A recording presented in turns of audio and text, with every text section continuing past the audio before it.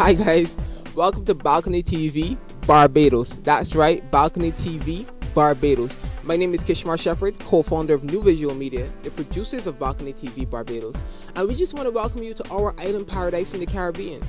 Barbados is the birthplace of international superstar Rihanna. We're 166 square miles. We have a population of just under 300,000, but within that population, there's so much talent. And our job here on Balcony TV Barbados is to bring that talent to you. Right now, we're on the east coast of the island on my balcony, and we have a beautiful view here, but we're going to be doing more than just shooting right here. We're going to be taking you all across this island to different balconies and bringing you different musical acts. I'm talking about more than just the reggae and the soca that the Caribbean is known for. We have hip hop artists right here. We have alternative groups. We have rock bands. We have R&B artists, and we have lots, lots more for you on Balcony TV Barbados. So stay tuned.